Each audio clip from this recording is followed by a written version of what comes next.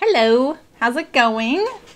Um, I'm Saremy, and uh, we're going to do part two of the Cheyenne tunic today.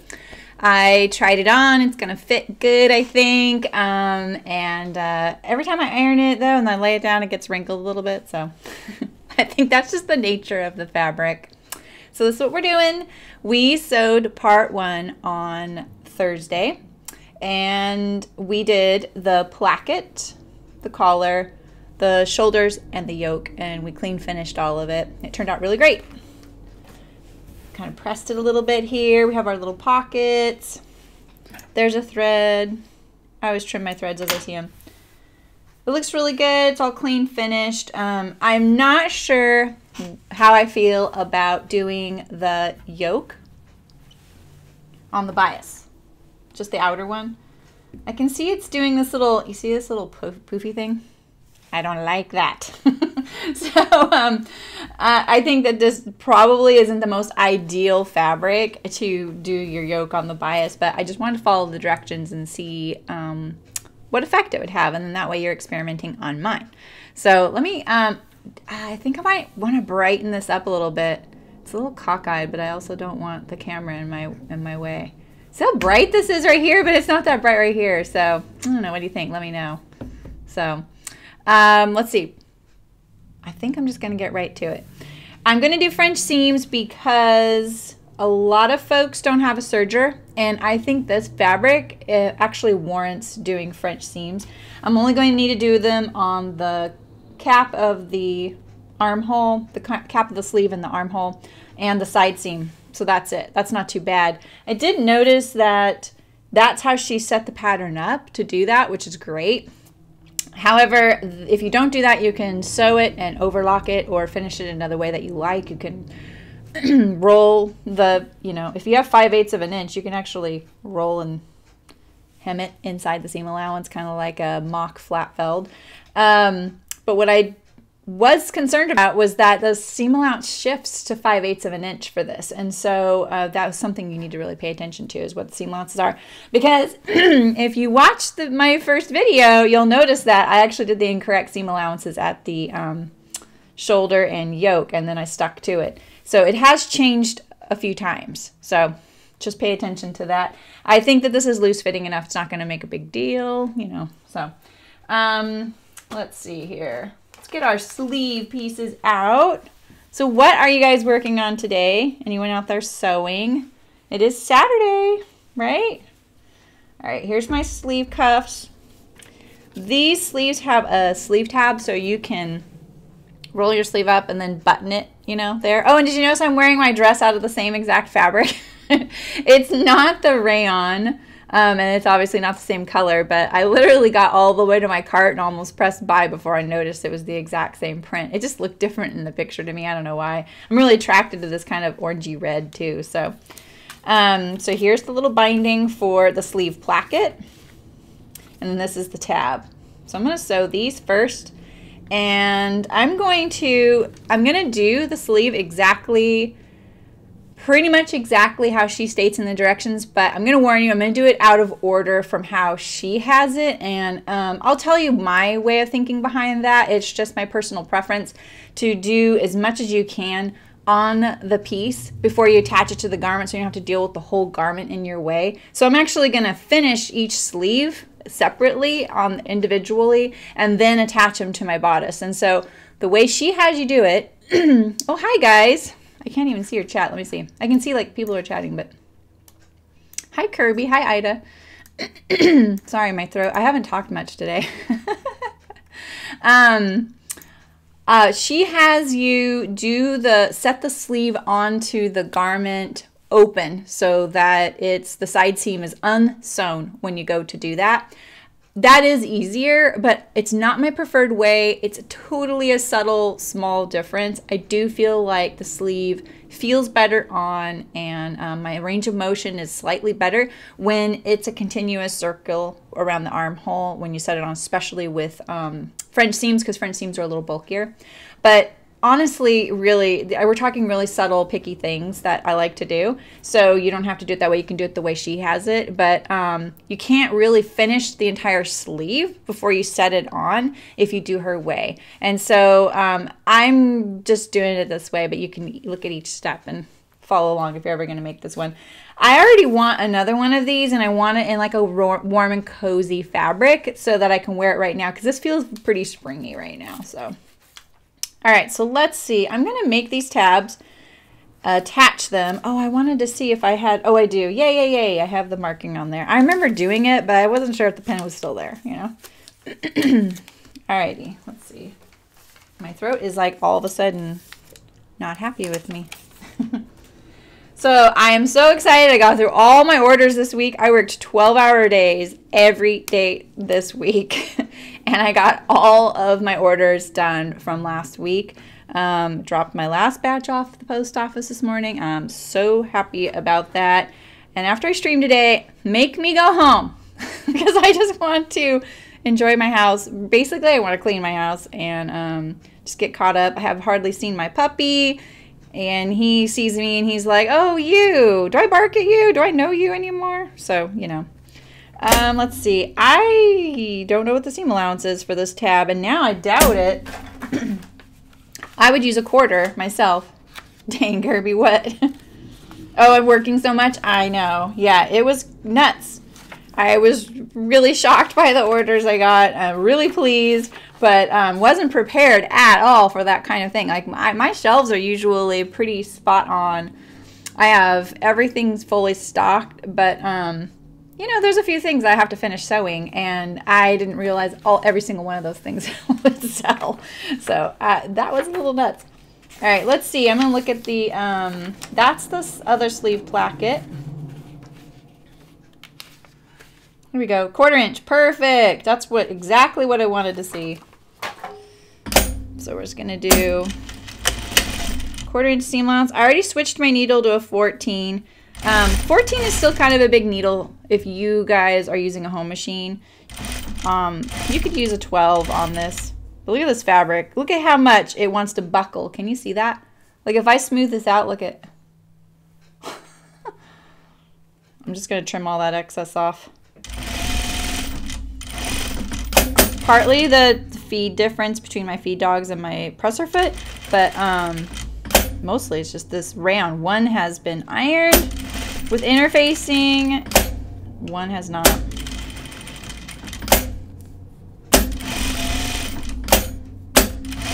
Sorry, I keep lifting and raising my presser foot. I know it's noisy.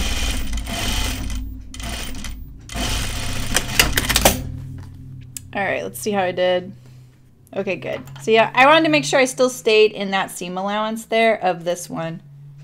Mainly because I really want to make sure I get a symmetrical uh, sleeve tab. So I'm going to trim off my little points there. And it's actually not symmetrical. Can you see that? I don't know if you can see that. But this, I turned here and I turned there. So I need to drop this one down to there. Better to be able to see it on this side.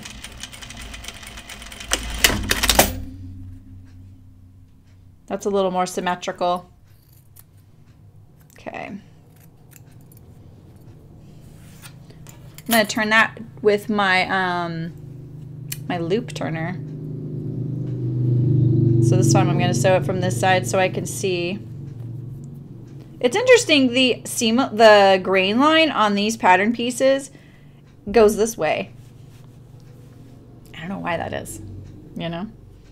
So if you have a stripe, bear that in mind if you cut something like this out because it's gonna it's going to go on your sleeve. It's gonna hang straight down.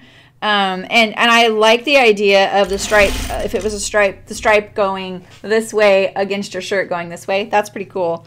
But it's something to bear in mind if you don't want that effect, or you end up doing it so that it's like looks weird because it's like faces or something, you know. I always equate everything being sewn with faces. All right, this time I'm gonna look at, where's my little tiny ruler? It's like disappeared, here we go. I'm gonna look at this and I'm just gonna mark right there. That's where I wanna pivot. That way I don't have to do what I just did on the other one. Alrighty. I am kind of cutting a lot off right there. I just really want the best um, point I can get.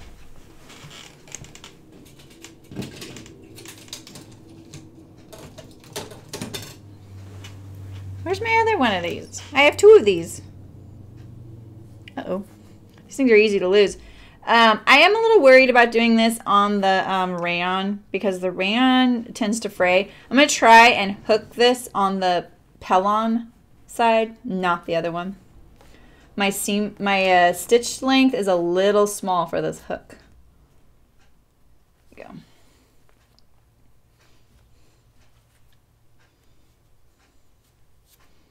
Alrighty. Once I get it going, it'll go pretty quick.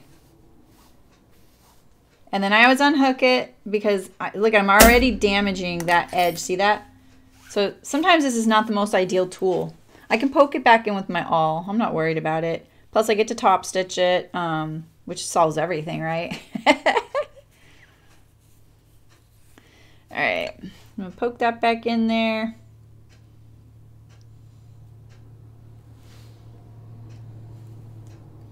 Let's poke this out first. Okay, get in there. Now I can work on my little point. And then I'll iron it as well. And then we'll top stitch it.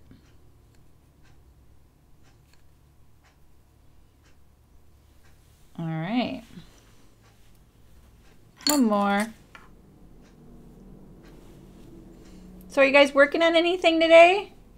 Am I the only one sewing? What are you guys doing? Ooh. There we go. I, what I'm trying to do when I poke that through really carefully and I get a little nervous is I want just the hook to go through, not the clasp, the part that goes up and down. Because if the clasp goes through, I have to pull it back out and get the clasp on the other side because what you're trying to do is pinch that edge between the two. I'm going to get my point out they're out of here sooner this time.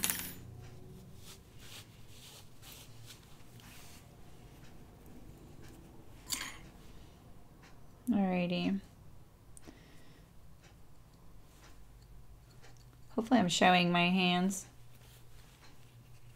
It's a different type of sewing. I've been sewing so much, you guys.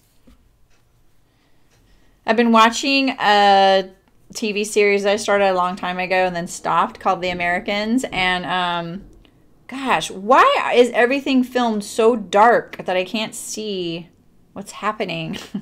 like I'm not even looking at it most of the time. But when I look, I'm like, what's going on?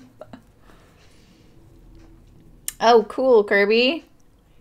On that Moneta train still. Nice. Okay, let's get my point a little bit nicer. My bangs are driving me nuts. They're doing something really weird today. My hair is totally wild today. Oh, thanks, Kirby. I, I'm trying not to um, give it any more extra heat. I feel like it's turning a color at the bottom, like it's getting blonde at the bottom. It's really weird. And I don't know if that's what it is. I know nothing about hair. I know nothing about color and stuff like that.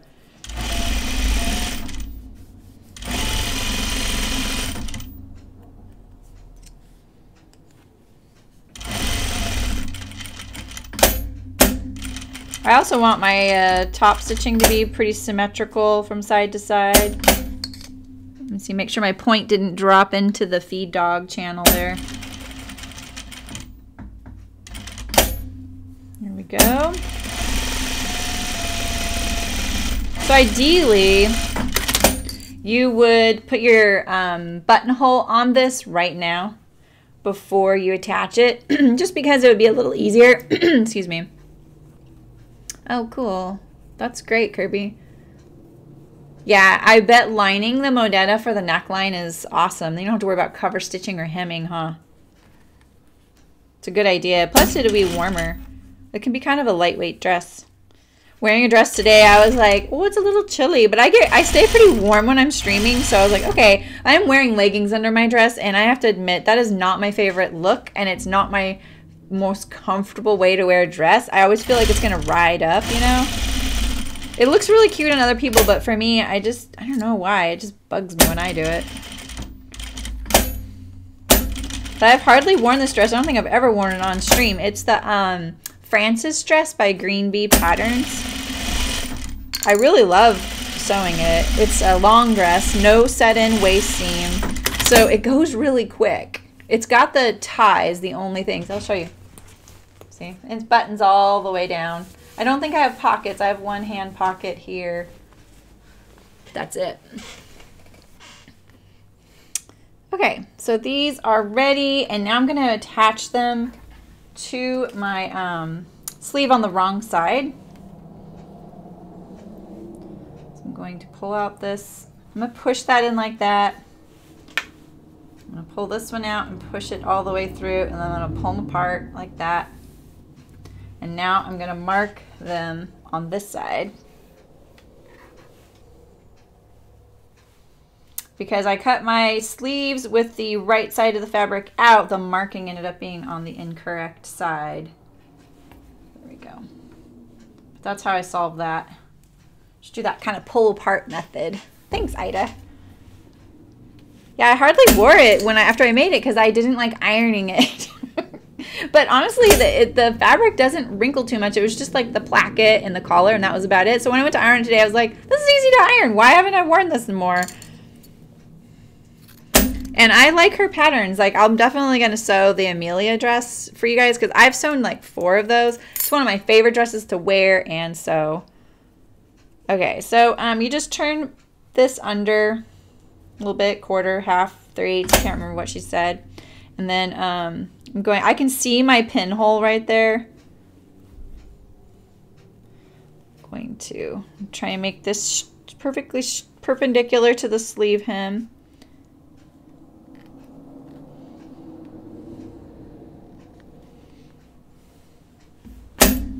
That. Stop that. it's like um, restless foot pedal syndrome.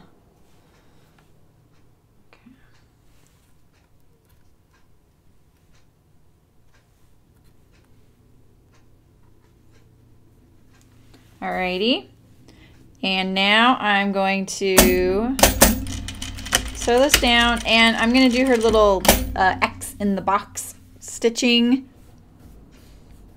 I'm going to go past where I folded it under there. It's a little dark. Why does it look so bright and then not, not dark bright? Um, so that I encase it in there so it's completely clean finished.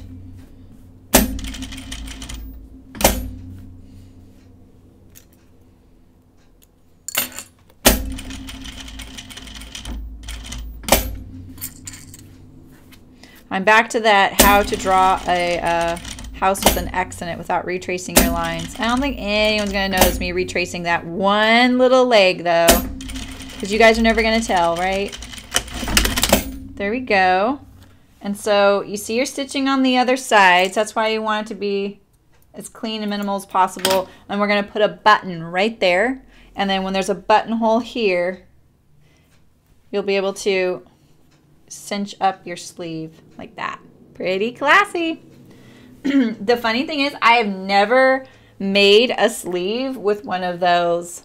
It's so funny because I actually really like three quarter length sleeves and rolling up my sleeves. Um, and um, I think I would have done it by now.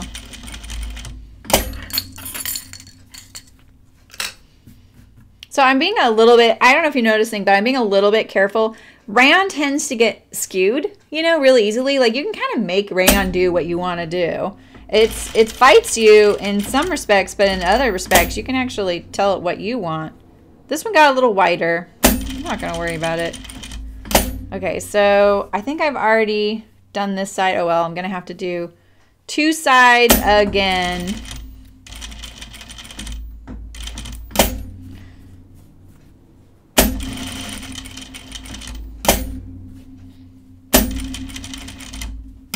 You don't have to do the X.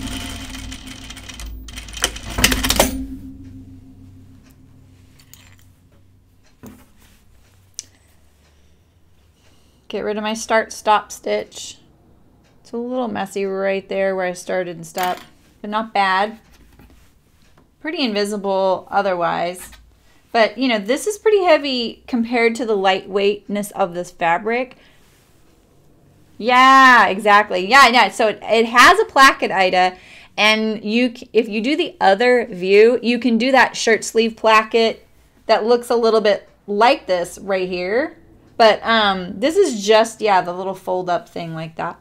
That's all it is. It's a three quarter sleeve. So now I am going to do this and it's on this view, she kind of catches a break and just makes the little, um, just a regular little placket. Interestingly, this was not cut on the bias, and I've never put one of these on that wasn't cut on the bias, so I'm just going to try it out and see. You never know, right? And I do this at three or at a quarter of an inch seam allowance. I'm actually going to do it from the inside to the outside. So right side to the wrong side, quarter inch.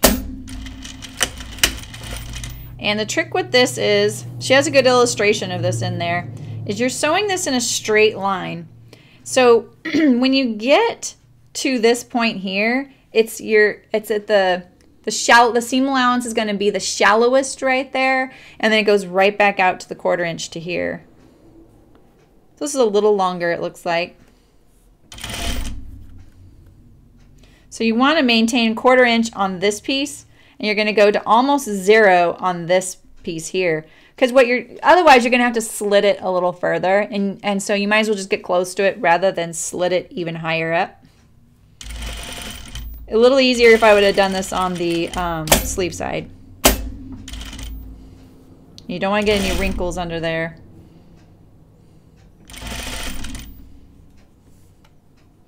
So if I had cut this piece of binding um, on the bias, it would have been um, even longer. So you see that? So there's my binding piece, and there's the sleeve piece. No tucks. That is just the um that it's doing something it really doesn't want to do. It's like, no, I don't want to be that way. I'm I was already the other way. This is a really wide piece of binding, so I'm gonna enclose that. Now you see why I started from the inside to the outside, because now I can cover up anything I don't want to show. Because this is the side that shows. So I'm going to fold it all the way, and then I'm going to use my awl this is really wide binding. kind of funny. I actually am having trouble with the seam allowance. so wide. There you go. So now you have your placket.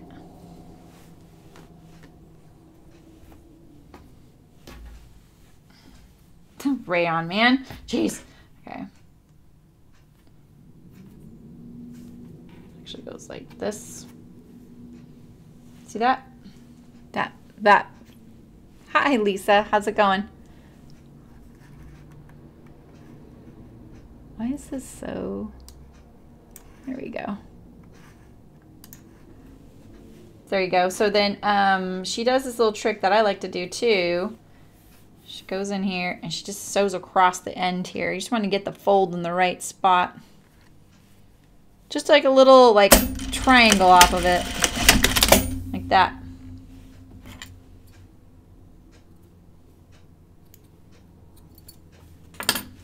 And then it will uh, want to stay kind of poked to the inside of the shirt more. Does that make sense? I feel like this sleeve, maybe this sleeve does, I don't think this sleeve actually has um, tucks in it. It does on the long sleeve version, but not this version. I'm going to fold this edge back that's how it's going to end up be, being and just stitch it down now. Just set myself up for later. Here we go. There we go. And then it has a little cuff right here. And then you're kind of done. Like there's, it's a pretty simple, um, it's a pretty simple sleeve. So let's see, I'm gonna do my other placket now before I lose this little pattern piece here. And then we'll put, do our underarm seam of the sleeve and then um, uh, the cuff and then put on the sleeve. And you know how much I love putting on sleeves. I'm joking. I've been joking in like Instagram and then on my first comment on here um, that, you know, it's like in knitting. I don't know if any of you are knitters and if you've knit a sweater, people are like, okay, I'm on sleeve island now, meaning like it's like you've knit the whole sweater and you still have to knit the sleeves. And the sleeves surprisingly take so much longer than you think it's going to take. And so people call it sleeve island, like you're just kind of deserted there. And um, I'm really glad that that's not a thing in sewing. Like sleeves, you can just get through in an hour, you know? So hopefully you can see this a little better this time. See that? So this seam allowance stays the quarter inch. Oh shoot, did I do that from the, I did that from the right side to the, oops, oh well. I'll just have to be accurate. Darn it.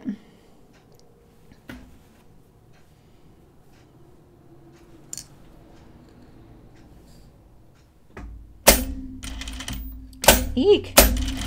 This, man, this machine, when the presser foot comes down, it comes down. Yes, Lisa, yeah, they take ages, exactly. Sometimes people knit the sleeves first. I learned that, because um, I mostly just knit sweaters. I really like sweaters. Um, I learned what worked for me was I would um, knit my whole sweater and then pick up around the armhole and knit down. That was like, I liked that because it got faster and faster and faster because you were getting smaller and smaller and smaller circumference. See, I probably should have checked how I did there. What I do. Not bad. It looks fine. Right? Okay, I'm going to fold this one back, top stitch it down. And do my little trick of securing it on the inside. My machine always leaves this long tail. So annoying. I'm so picky about that. Okay. So now I'm going to do my uh, underarm seam and I'm doing French seams. So I'm going to first do them at a quarter inch now that I know that's a 5 8 inch seam allowance. Quarter inch and then, um, and wrong sides together. Why is that not matching? It's the underarm seam. That's weird. Maybe my cutting. Annoying. Shouldn't have to ease in the arm, the underarm.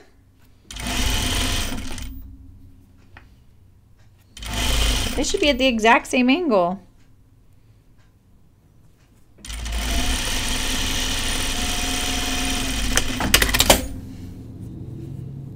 exactly. Yeah, right, Lisa? Exactly.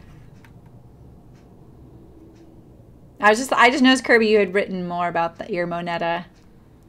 Oh yeah, that's smart. And then it's not so see-through. Yeah, exactly. I do feel like depending on what knit you pick for that moneta, it shows more like bumps too. You know, like like the bump under your bra or whatever. Mm, I don't like that. And um, when you line it, that it gives it more like thickness more modesty in a way. Smoothing. I'm going to trim, I'm trimming these little tiny rayon threads. I feel like these are what foil your French seam. The, that's what pokes out, right? These are the, these scissors. I'm gonna give myself some new scissors. I have so many little pairs of scissors around here. I even have brand new ones, but I just don't like them. I like a really pointy tip. Okay, so I'm going to iron that before I sew it.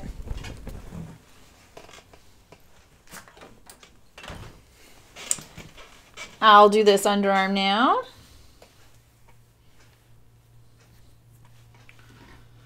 Wrong sides together.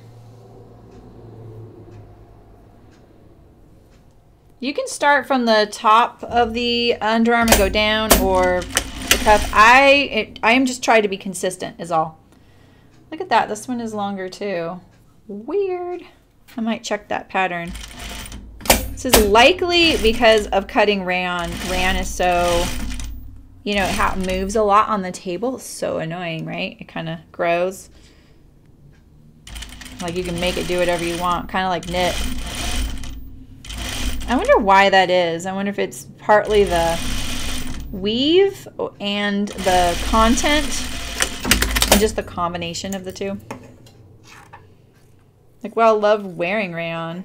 And I washed, I pre-washed this. Like, I washed it like regular. Just put it in the washing machine on warm and then um, throw it in the dryer. Probably I put it on low for 20 minutes and that's about it. I do a lot of my stuff on low for 20 minutes because um, it dries really fast and um, you know it's fabrics like this. I don't do my denim that way. I do that pretty high actually. The best way to treat your clothes is honestly line dry, but a lot of us don't do that here in the states. All right, I'm gonna um, gonna iron this. Swivel you over. You look through my thread and my microphone there. So I'm gonna first iron this so that I'm going to press this seam one direction, the seam allowance, and then I'm going to put it on the edge and, fold, and sew it again. I'm going to use my, um, what do you call it? It's not a sleeve board. It's kind of like a sleeve ham. Makes it a little easier.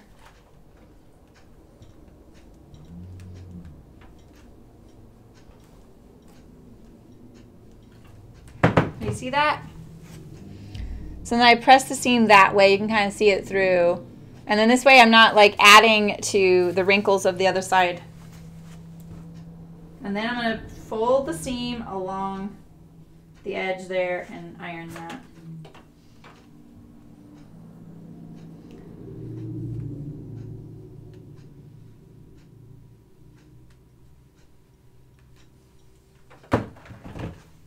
Gives it a really nice crisp edge to sew with.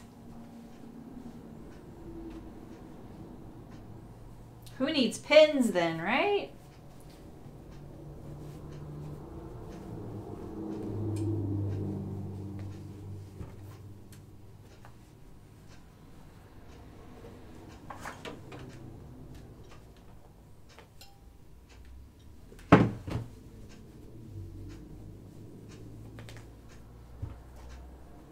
Like so it's like so the sleeve thing is so sticky.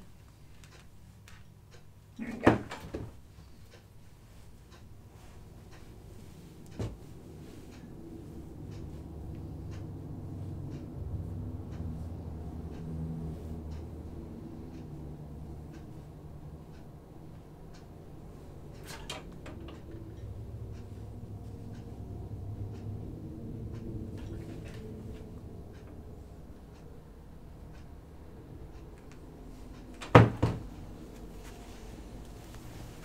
Ta- yeah, maybe is that what it's called? Is it called a a, a tailor's ham?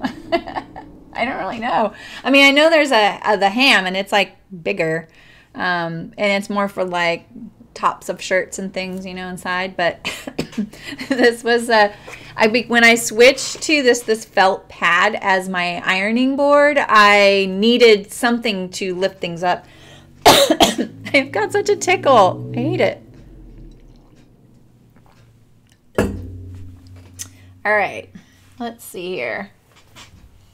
I'm, I really want to do my French seams as fast as possible so that these little fibers don't start poking out, right?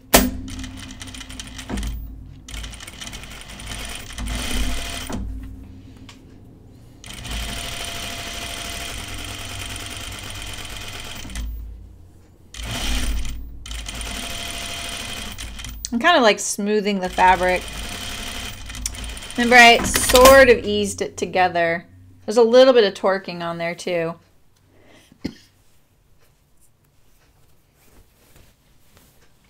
Looks pretty good, though. Excuse me, you guys. yeah, right, Lisa? I, I know it's more of a, it's like a sleeve board without the board. You know, like I've, the sleeve boards are like little tiny mini ironing boards that are like parallel boards to each other. Um, it's kind of like that, a sleeve ham.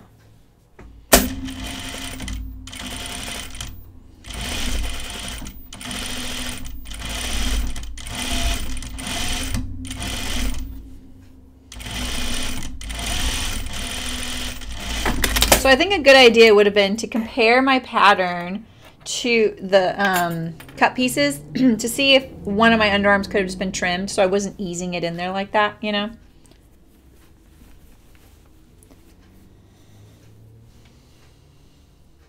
Looks pretty good though. All right, let's do our cuffs. So the um, interfacing, um, took me a bit to figure this out. a clapper? I've never heard that term before.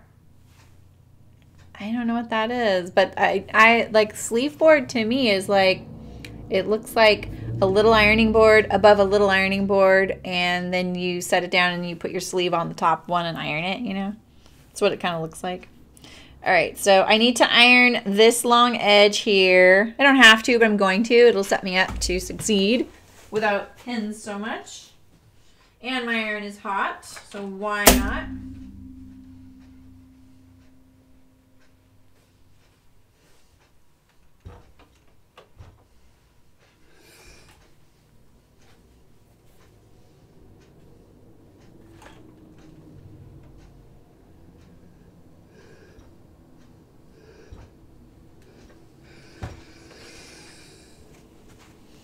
Okay. I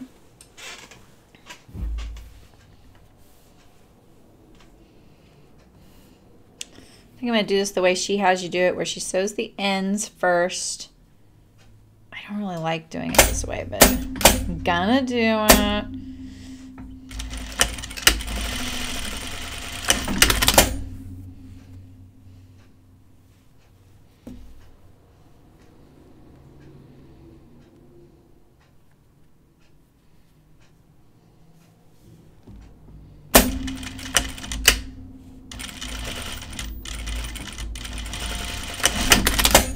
Cutting it really close right there.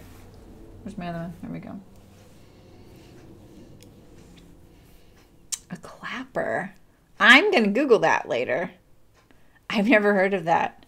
Is it a newish thing or an old fashioned thing? Why is this so wide? I don't like that.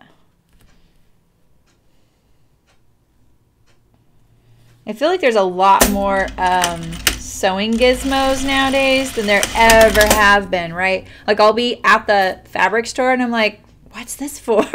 you know, and I get kind of lost on that wall of all the things you can use. And, um, you know, I want to try them out and stuff, but um, honestly, I feel like you shouldn't have to buy a ton of things unless you're doing something really um, specific, you know. There are some things that are just easier and better and less frustrating if you have a gizmo, you know? These are not looking as good as I, I would like them to look. I am going to admit that right now.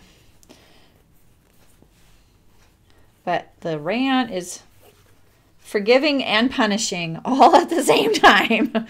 so we're going to beat it into submission and tell it what we want you to do.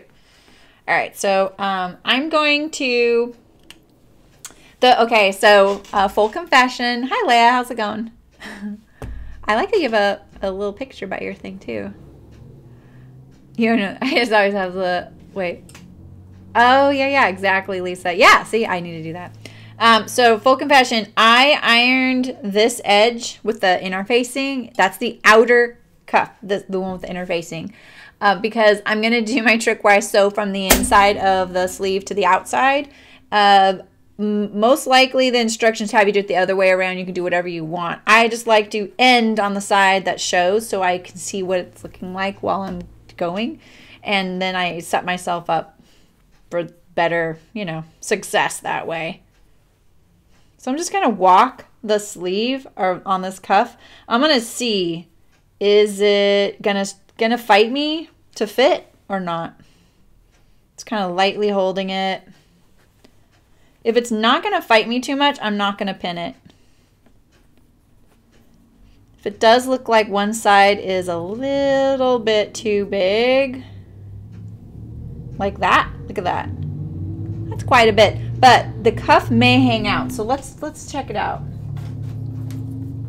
The cuff may hang over the edge of the um, sleeve. Let's see here.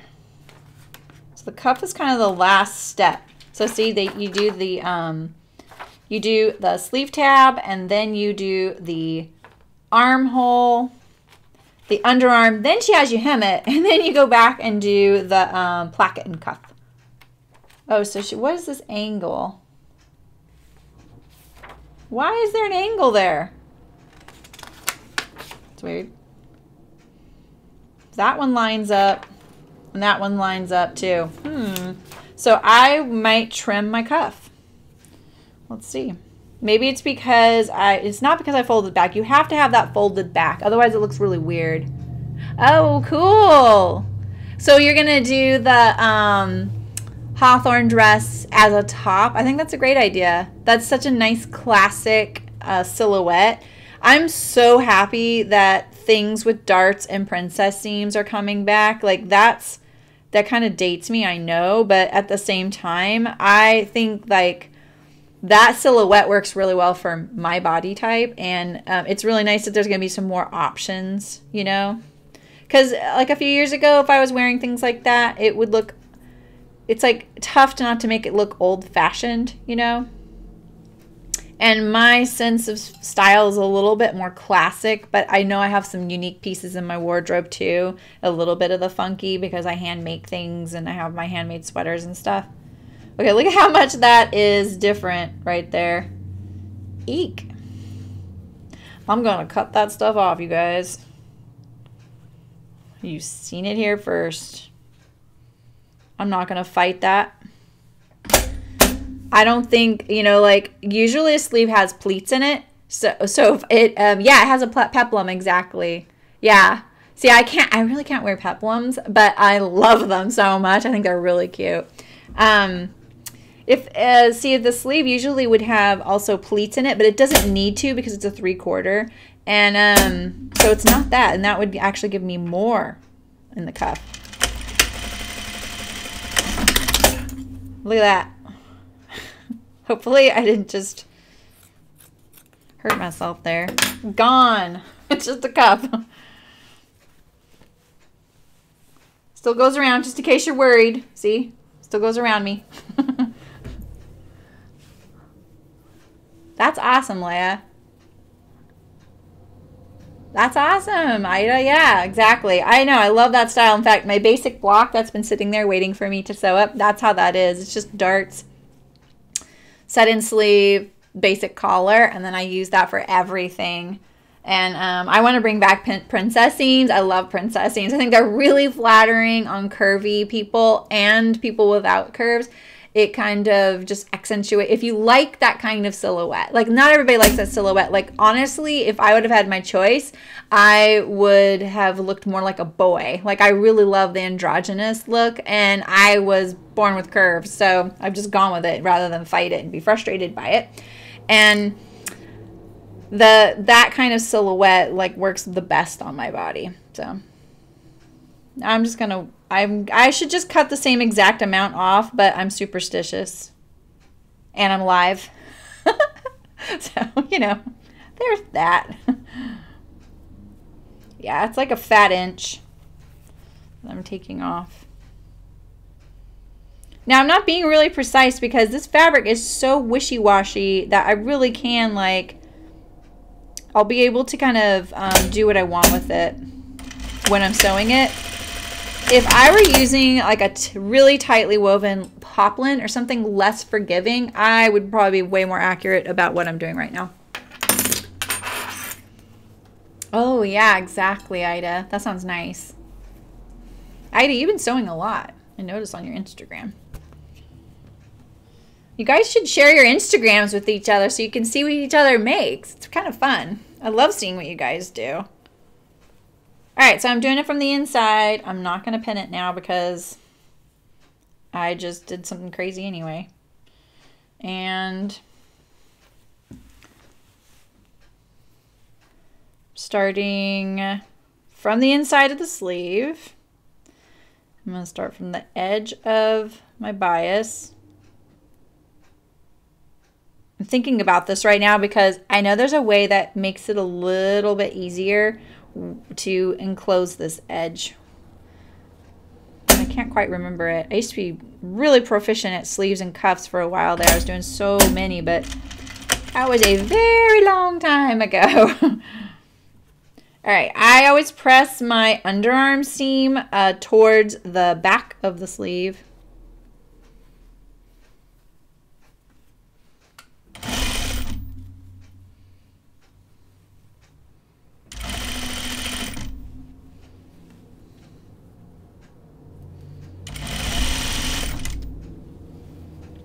So when I get closer, I'm going to really start paying attention to how close I am like right now. Perfect. Look at that. Yay.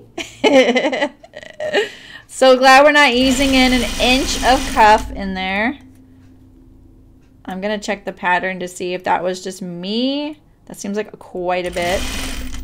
Maybe, um, it's very likely maybe I cut the wrong size cuff. All right. So now my cuff goes all that stuff goes inside. Where's all that thread coming? Oh, there we go. Okay.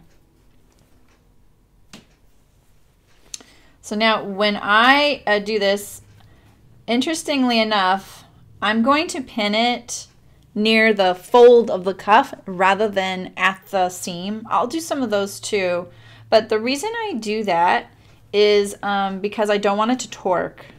I don't like torquing. You guys know that. So, um,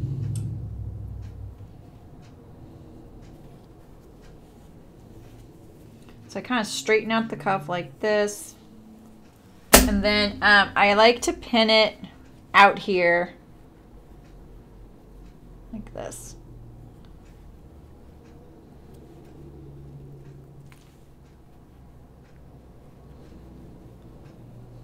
That way I still have a little bit of movement here, but I'm not going to get that torquing that I really can't stand.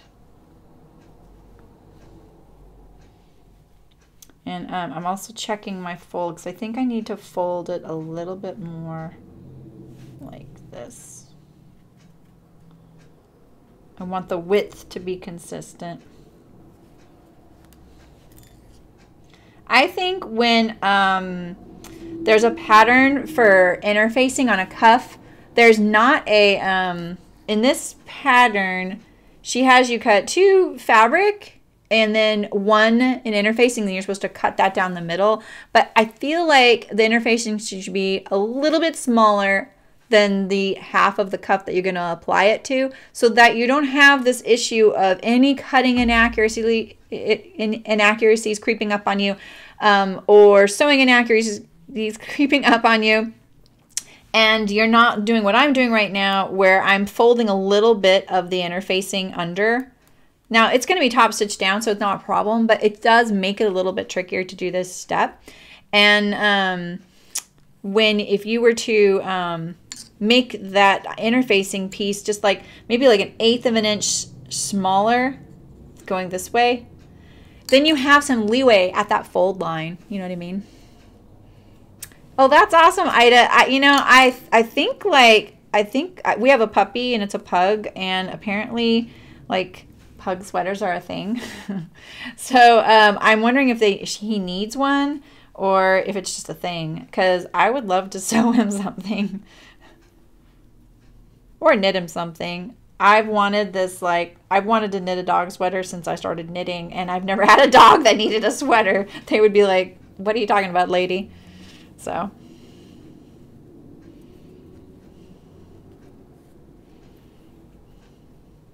So can you see that? Like I'm kind of wrapping this little edge here. My interfacing's kind of fighting it. But I'm going to top stitch it down. It's going to be all fine. All right, so I'm going to um, turn my sleeve inside out. I'm going to start like this. Uh, I like to sew inside the um, sleeve because then it makes it easier. Stays flatter. I don't have the danger of catching this side of the sleeve under my needle while I'm doing that. So um, this also illustrates like, look at that, like it's kind of far away from the edge there. So let's move that down like that. Let's see how that looks. I'm going to pin a couple. I'm going to move some of my pins from the fold down there now.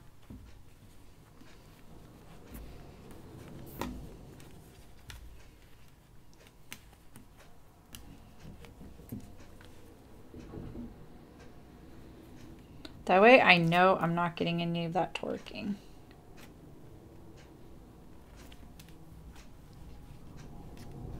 This print looks so different than the one I'm wearing in a way, doesn't it? Funny that I'm wearing the exact same one.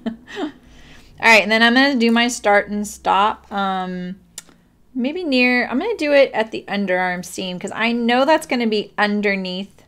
I'm going to start right there. I'm not going to back tack quite yet. There it is. Cherry pie. So I use a pin cushion, not a magnetic one, because um, one of my pet peeves is when my pins get magnetized, because then they'll start grabbing my scissors and things like that. And um, I don't know if you've ever had that happen where you pick up your scissors and there's a, a pin stuck behind there, and then you go to cut and you cut the pin and you ruin your scissors. So it's why I never use magnetics to corral anything like that when um, I switched my needle out back to the 18 I needed for my sewing this week, I hadn't used this needle very much on Thursday. I actually did put it on. I have magnets up here. See right here. I have the stack of magnets right here. Um, they're for sewing pattern holders. I just leave them there. And I did stick it there and I thought, oh, watch, this is going to magnetize some of my pins. But, you know, they're not, it's not really coming in too much contact. Aw.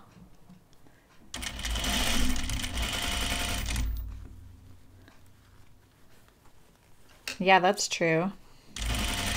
I could make um, matching. if I had some extra of that plaid from my jammy pants back there, I would totally make him something out of that. I think I still have that fabric though, but ooh, I cut it close on those pants. Oh my goodness. Glad I didn't sew those on stream because um, I think I couldn't even match the plaid in one spot and it was really bugging me.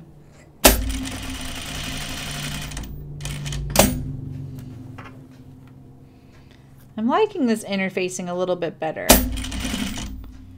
Someone gave me a tip um, via a friend because she heard me complaining about interfacing on stream and so she texted my friend to tell me. Yeah, see, Ida, we want to see your dog. I feel like it's you that did sew your dog a sweater, right? On Instagram, and I saw it.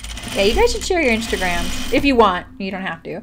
Um, and I need to look up what she said. Maybe I'll look at my phone right now and look at it. Um, I screenshot it so it would be in the in the conversation of the text.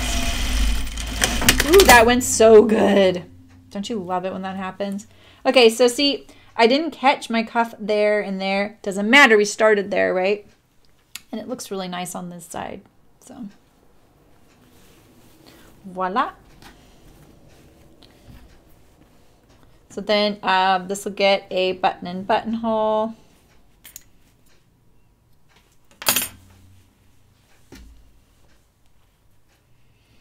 Can fold it up. Where's the, oh, it's on the side. I'm like, oh, wait, how's that attached? Where is it? I can't even see it. Oh, oh, there it is. Okay, when the button's there, that'll be good. Okay, so maybe you do it twice to get that look. Like that. like that. Alrighty.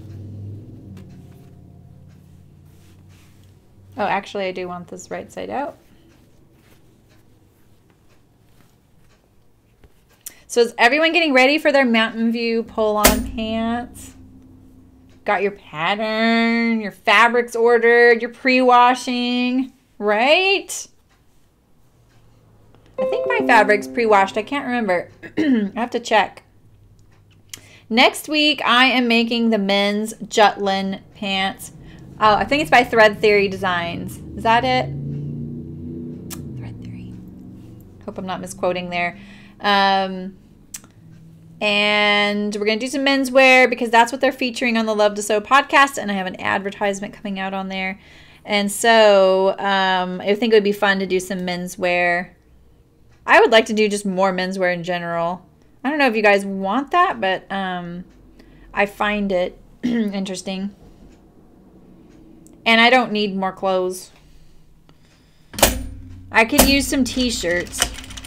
I do have a, te a teenager who um, steals my clothes. I guess I should feel fortunate she thinks my stuff's cute enough to do that, but I'm running out of shirts, guys. She won't take this one. But she's taken like a few of my long... I didn't have very many t-shirts to begin with. You know, like layering pieces. I need some layering pieces. So I uh, maybe once we're set up, we can have more serger videos and things like that. And um, we can sew some t-shirts and stuff. I'm all paranoid again. I know it's going to work. I don't know why I'm getting paranoid. Just so. Just so, lady. All right. My seam, my uh, seam pushing it towards the back.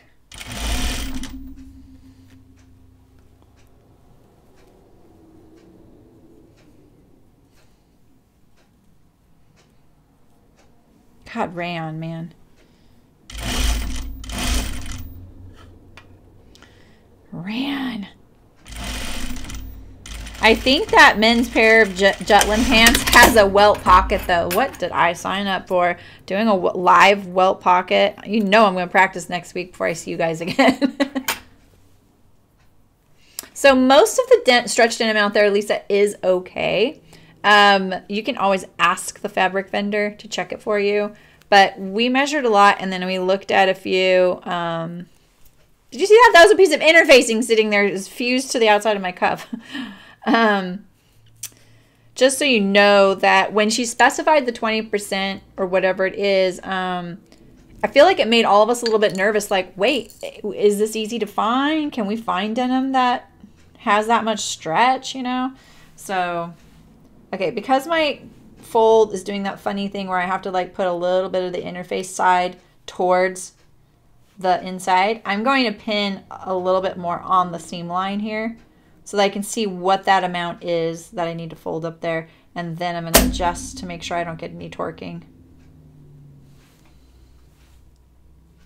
I just poked my finger with my pin so I don't want to bleed on my shirt. It's a thing. All right, let's uh, pull this inside out like this.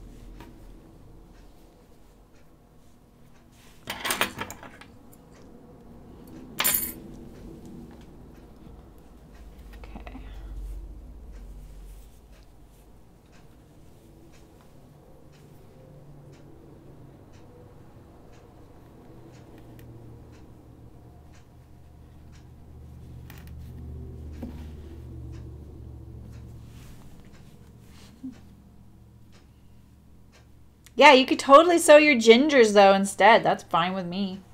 But it's the same um the same denim I use for my ginger jeans works for this, so. Yeah, it 20 yeah. Yeah, awesome, Ida. Yeah, I feel like um and I tried that. Remember I sewed that little trial waistband? I pulled it on and it was fine. I mean, I know when it's attached to pants, it adds a whole layer of like you know, shimmying to get your pants on. I, will tell you guys, I, I own a few pairs of pull-on jeans that I've bought, and they are a little bit, you know, like an oomph to get on. But once you get them on, they don't move. You know, it's great. they have you buy them in kind of a smaller size than you are, which is a little nerve wracking.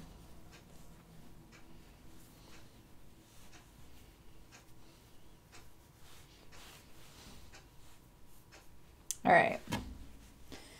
Start with our underarm seam. I just don't like my back tacks to be here or here, right? Because it just creates this bulk. And then if you have a problem sewing this and you need to back up, it's nice if you've started here without a back stitch so that you can go back to that. Because um, you might realize you have an issue with your cuff before you've finished. But if you've back stitched right here, that is a, it's a, a high visible area, highly visible area. So you don't really want to take the chance that you might rip it or something. Um, or like wear out the fabric there.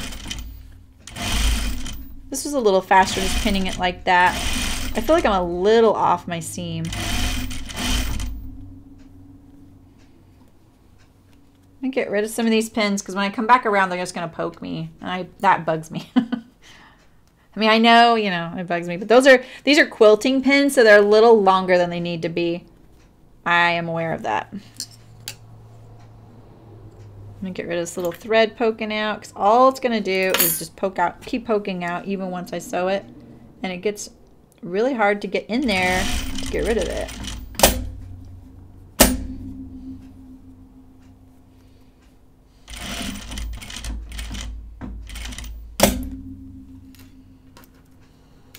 Oh my gosh.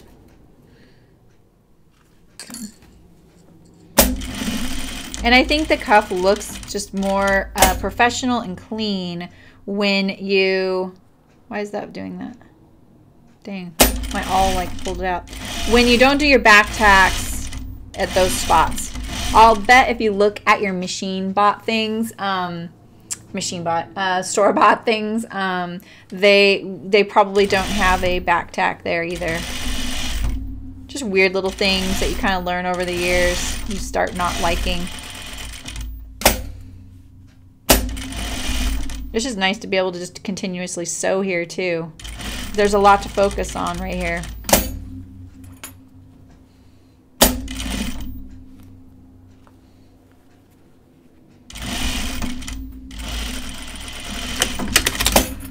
Here we go. Scissors won't cut. Yeah, see, I did get a little bit further up there. It's still secure, but, you know, not my best sewing right there. Looks good on the outside, but when I roll it, I'll have to, be, I'll, ah, it might bug me a little bit. There we go. Sleeves are ready to put on. Did I do my under? Oh, I didn't do my side seam yet on here, so I'm gonna do my side seam. Wrong sides together. I ironed this right before we streamed too. but no, I'm gonna wrinkle again. I think because it was still warm. I was thinking a really great mod for this uh, tunic would be to put um, pin tucks or pleats, little tiny pleats. Hi, Malin, how's it going? Um, down the like bodice right here. And then I saw someone did it and it looked really good. And they, they were someone um, that she reposted. So if you want to do that, check it out. And because um, I think that person did a whole like blog tutorial on how to do it. So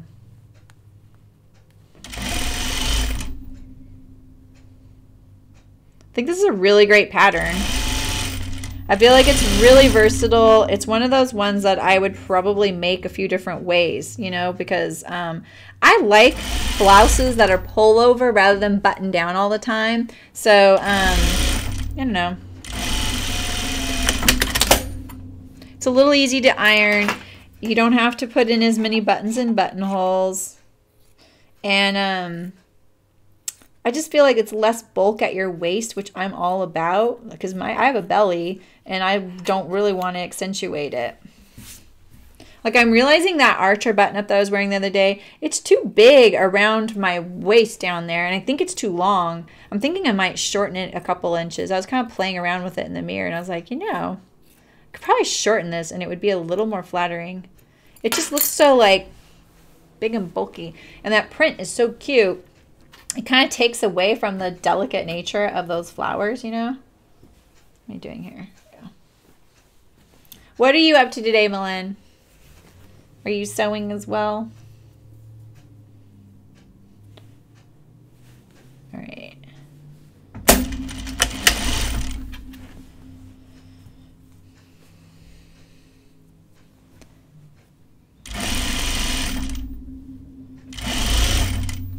I love coming here with you guys. This is like the easiest part of my week.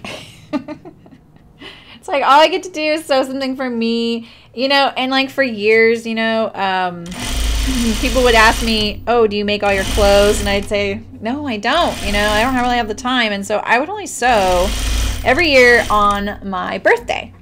And my friends all knew this. They like knew, and even some of my customers knew this was my tradition. And I did it even on years where I had no time to do that. I told myself, "You are not letting this go," and it always worked out. Like everything always worked out, even if I was really busy. Always managed to get everything done without so much stress. Or just I realized wasn't as important as I thought it was that I needed to do those things, you know, how that goes.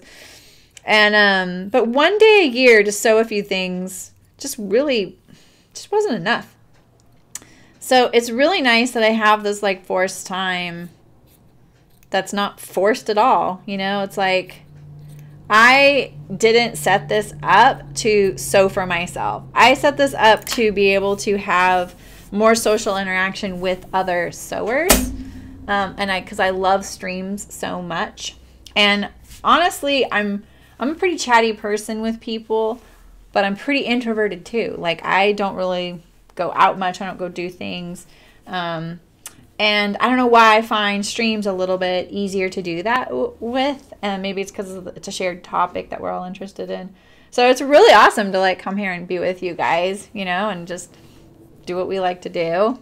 Oh, you're knitting mittens? Aw. That is something I absolutely do not need where I live now. All right, I'm going to iron, um, I'm going to iron these side seams.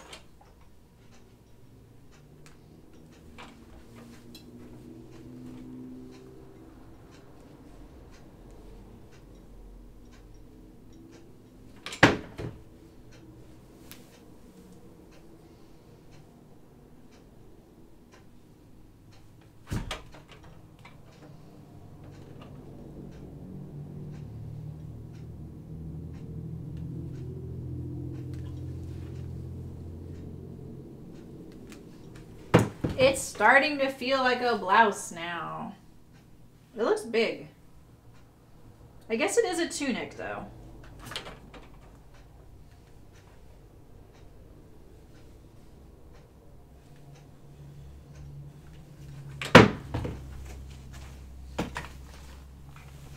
No, my fingers don't get cold here. yeah, you do, Malin. Oh, yes. I um used to live somewhere where sweaters were pretty much appropriate any day of the year. I mean, it just because it was like an even 55 to 65 there and wet. Um, and you know, when it was 70, we were all like, hot. and then I moved um, somewhere where it gets 120 in the summer sometimes, and like even now, it's pretty chilly out there, but this is like the high in the summer from where I used to live, so.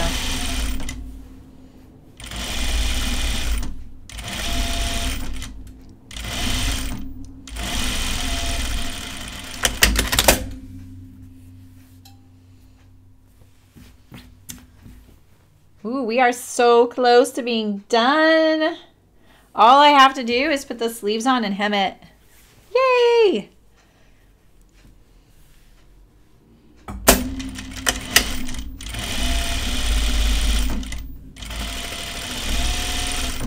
It's torquing. I can see it torquing. No torquing. I'm trying to keep it like nice and flat. The reason I care about it in the side seam, like partly is because when you put a seam on something like this, this is um, pretty loosey-goosey fabric, right? It's movable. There's a tiny bit of bias because there's a little bit of curve in the waist there.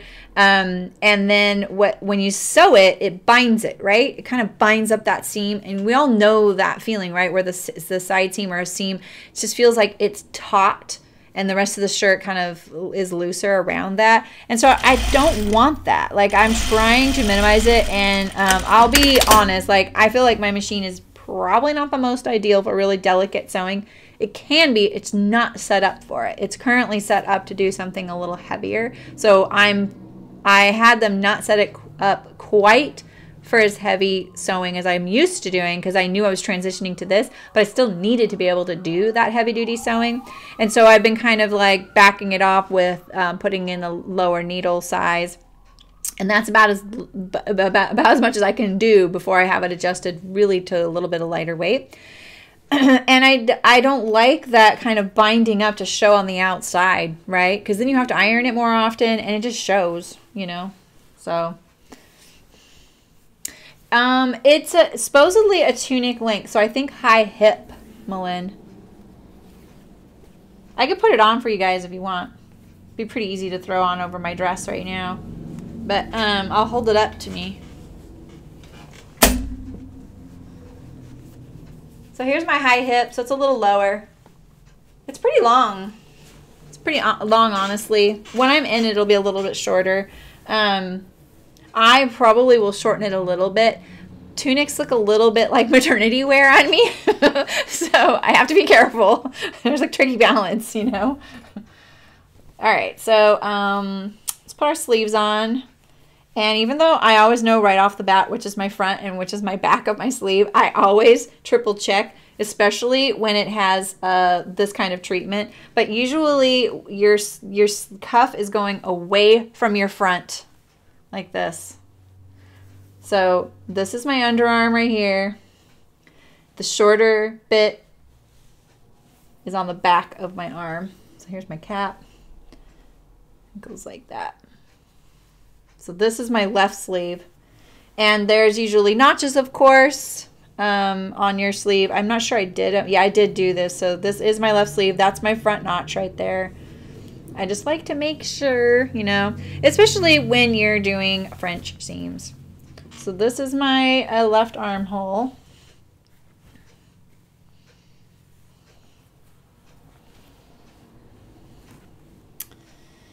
And I'm going to push my, I'm going to stagger my seams to kind of, no, uh, no, I'm not going to stagger my seams. I don't really want that. I'm going to make sure though that my cuff seam, my seam in my underarm of my sleeve is going towards the back. Yeah, it is. Okay. Because uh, otherwise I could have staggered it, but I don't really want to. Oh, are you making the Cheyenne as well? Yeah, see, I'm not, I'm like a little below average waisted, I think, too. And I'm busty, so it's tricky. Like, I don't really want to accentuate that. Oh, you know what? I didn't do my um, gathering stitches. Let's see. She has you put those in. I'm going to check. It doesn't look like it needs it for me, but um, I'm to make sure. It better need it. You know how I feel about set-in sleeves. Oh, yeah, yeah, it needs it. Okay, let's put those in. My bad, my bad. All right, so now we can really make sure that our um, our sleeve is the, the underarm is going the proper way. So um, I'm going to, mm, uh, I'm actually not going to change my uh, stitch length because this fabric is so lightweight and easy to gather no matter what. Anything I can make it a little smaller. And then I'm just going to So um, I'm going to do mine at about 3 8 She has you do two rows. I'm only going to do one. The rand's going to be pretty easy to set in. I go notch to notch. I'm going to go a little past actually. There's one. I'm going to do this one right now so we don't forget that again.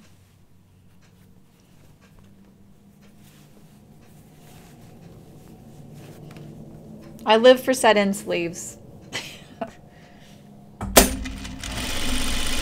I think that might be the one thing that'll end up frustrating you guys about me if there's a really cool pattern out and I'm like, oh, but it doesn't have an armhole. I'll be all whiny about it. I'll still sew it for you guys. But I just don't like the way garments feel when they don't have a real armhole. They make me feel like, you know.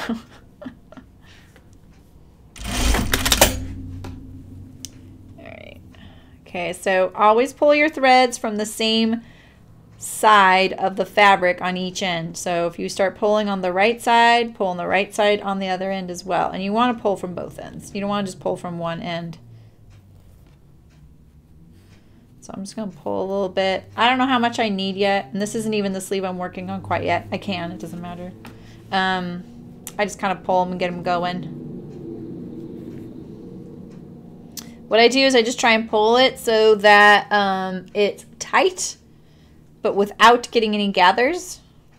And then I go from there. And then I see what else I might need.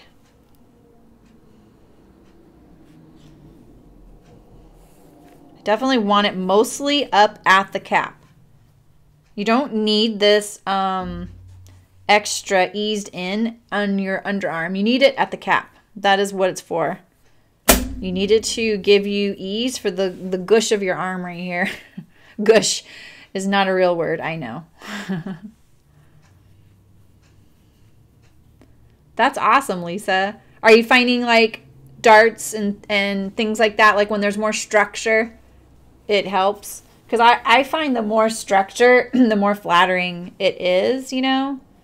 Um, when things are really loose and open, like we, we all want to be like, oh, that looks so nice and comfy, right? It's like loose and um, shapeless and everything. But honestly, if you have any, um, you know, substance to your body, that it doesn't, it just doesn't work. That it doesn't.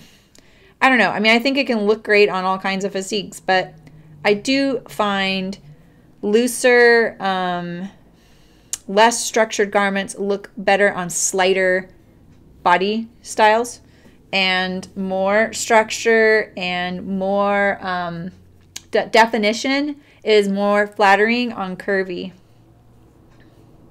And then, you know, there are exceptions, obviously. I think both all body types are perfect. You just got to find the garments that work best for you. And then occasionally throw in one that you just really want to wear, even though you know it's not your exact same body type. It's like, that's okay. I was just so thrilled when they finally came out with like boy style jeans that were lower rise. That just worked so much better for me. Okay, I'm not going to turn this right side out, but this is still my left sleeve, I'm pretty sure. And this is my left. When, the, when you talk about left and right in garments, it's always as if you're wearing the garment, always. If it's not, they're doing it wrong. I'm going to say that flat out. That is one universal truth with all pattern drafting. They're always talking about it as if you're wearing it. Where'd my notches go? Now I gotta triple check because I'm paranoid. Yeah, yeah, this is my left sleeve. Okay. You know, you only have to sew sleeves onto the wrong armhole once or twice before you get paranoid all the time for every single shirt you do after that. Am I right or what?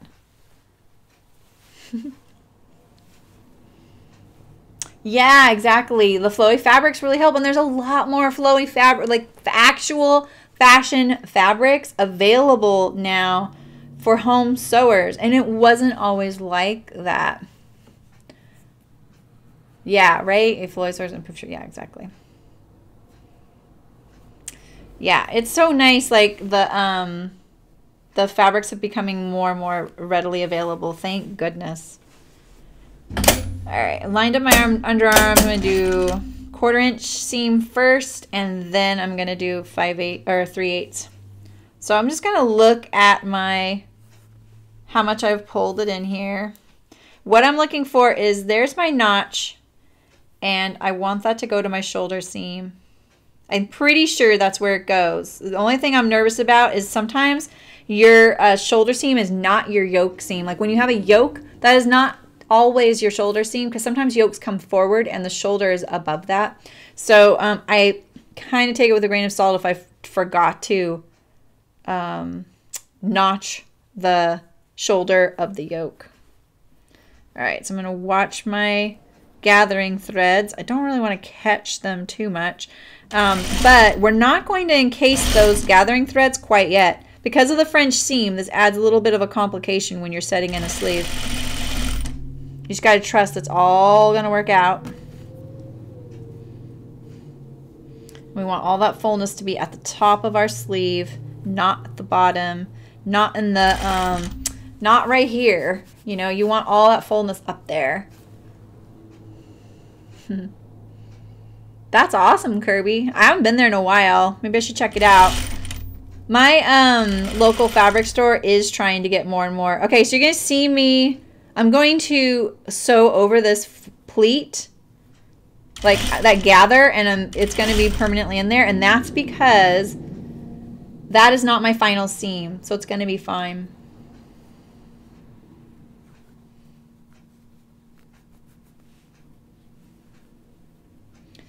Yeah, so my there's a another sewist um, at my local fabric store who's really passionate about garment making, and um, she has been advocating for a lot more fashion fabrics. But you know they they really can't add too many because they primarily cater to quilters, and so um, that's what you know that's who their customer is. Totally understandable. We're trying to uh, encourage some of those quilters to sew some garments. And some of them are up for it, and others are like, nope. okay, so now I'm running into a little bit of issue with my yoke, that one yoke being on the bias. I don't know if that was worth the treble, to be honest. I'm going to pull the yoke from underneath to line it up like that. I'm just kind of ooching along here. The first one is a little tricky. This yoke is definitely not um, cooperating very much.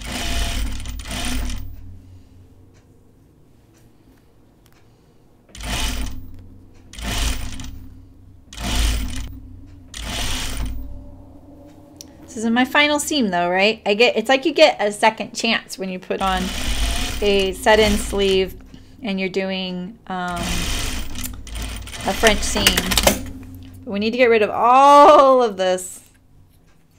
All of that stuff.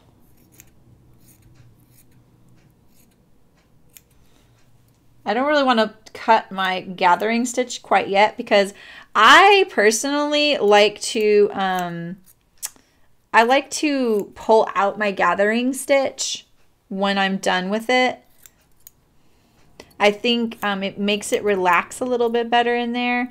And sometimes my thread's a little heavier than probably what you guys use. And I like to get cut down on the bulk in there.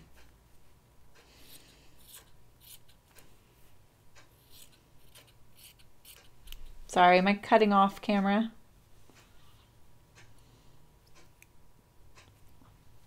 So I'm paying attention to this seam. That's the one I just sewed, not my gathering stitch. That's why I'm not going as close as uh, it looks like I should be because um, I'm only going a quarter of an inch from my first seam. Getting rid of all of this stuff.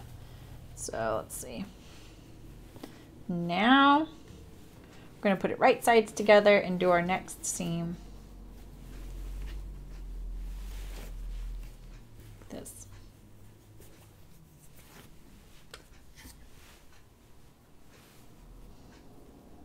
You could iron this. Um, I'm, I'm going to not iron it this time. I'll start my underarm.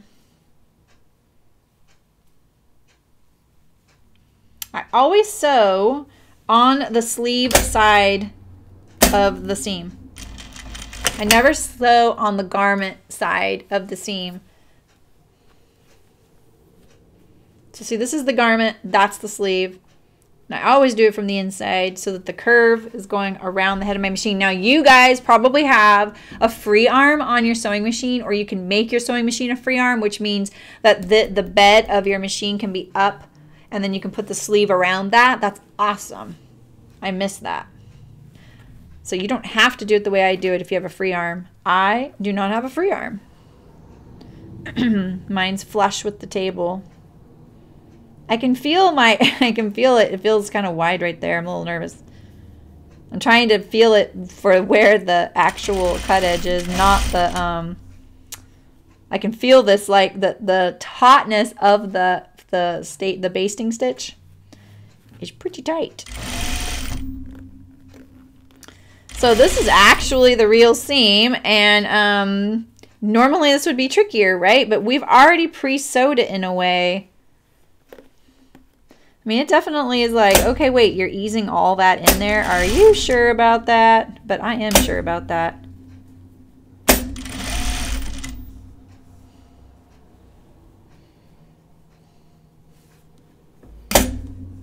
Maybe I should have ironed it.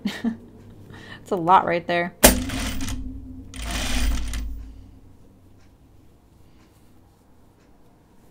I kind of slide it between my fingers, get it right on the edge.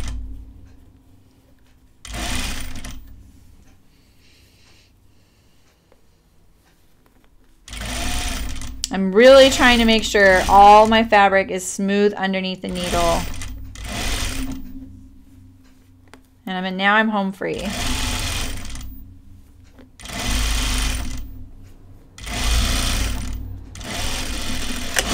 Just always tricky at the cap there. All right, so I'm gonna pull my gathering stitch out. It would have been more convenient if I had pulled from my bobbin side because I can see my bobbin side. See, this is my bobbin side of that gathering stitch right there. now I'm just gotta hope that one of my threads is poking out. I think that's it right there. That's why I made sure. Whew, it's gone. and see there? It's gone. I can see a little bit of um, fabric poking through the seam. I'll probably go back and trim that off camera so I can be really close and careful. I saw it in one spot. Where was that? Right there, a little bit right there. I can I can just sew it in case a little bit more, but I'll trim it a little bit first. Oh, actually, I'll do it right now. I don't want to forget it. I'm going to stretch it out, pull, trim that off a little bit. And then I think I'm going to sew it again. I don't want to cut my fabric, right? Otherwise, this looks really good. I'm excited.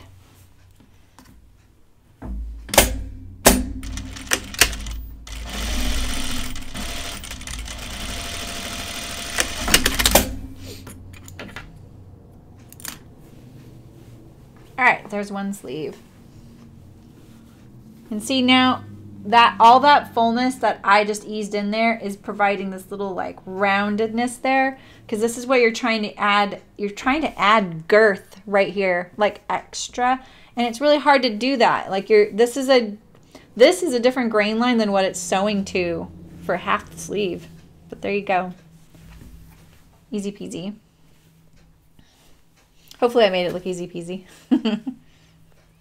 All right, so now we're going to sew our other one.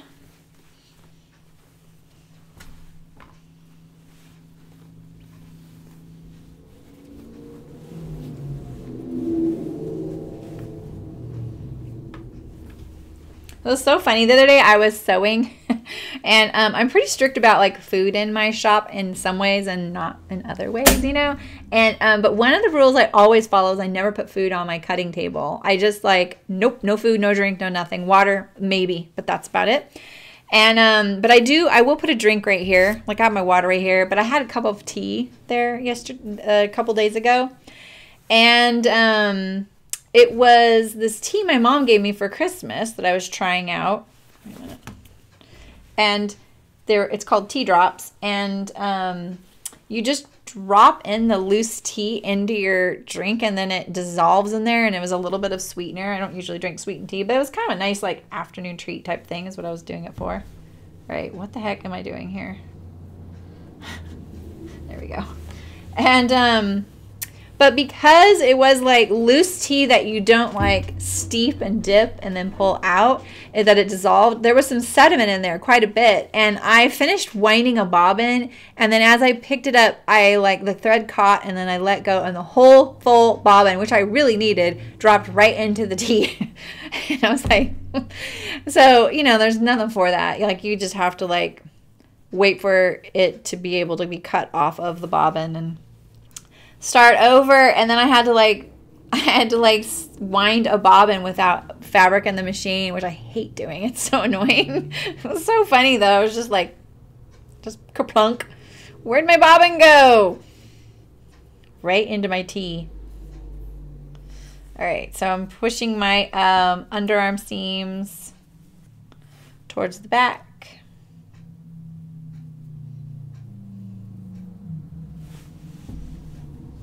Inside my sleeve.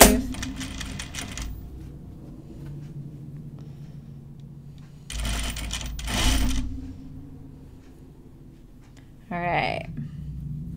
Let's see. How is my sleeve lining up? I don't think I pulled this one as much yet. So, you know, I need to like gather it up a little bit more.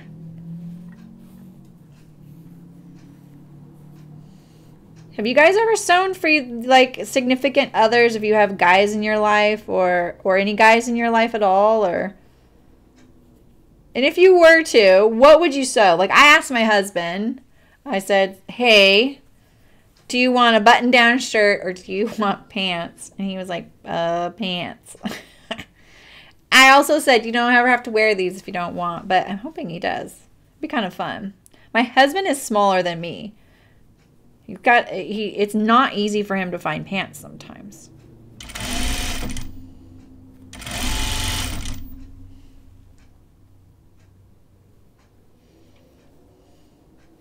Oh, this bias yoke. What was I thinking? I was thinking, I'm going to try and follow the directions. That's what they want me to do. They don't like it when I go off road. But at least you're learning from my experience, right?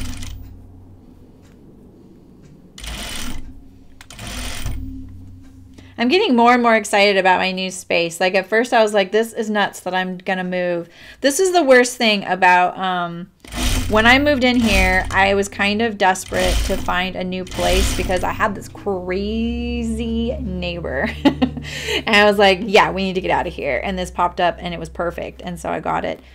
But we had to move over the holidays and before our shows, which has put my my lease renewal every year at this time. And I'm like, wow, if I leave, I have to like deal with the same exact thing. So he would choose a shirt. Yeah. Oh, you made him knit pants? That's adorable. Why didn't you show me those? The only guy here is a cat. Oh, that sounds easy. Much easier to please. I love cats.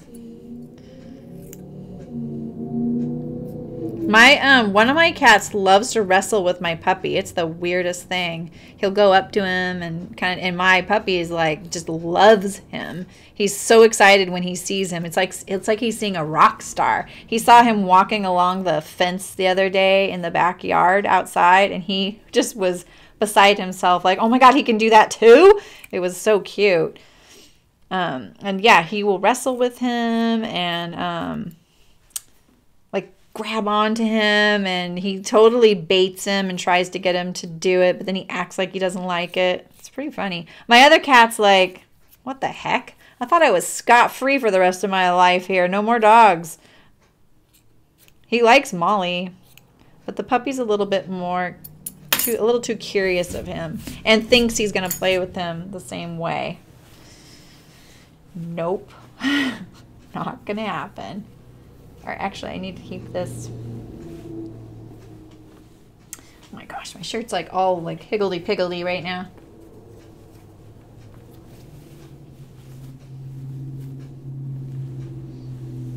All right.